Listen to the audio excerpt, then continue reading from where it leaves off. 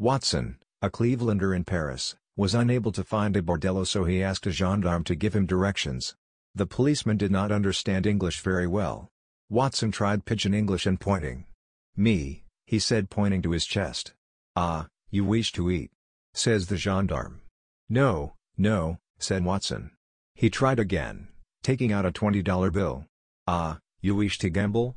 No, no, no, shouted the American in disgust, and he took out his penis.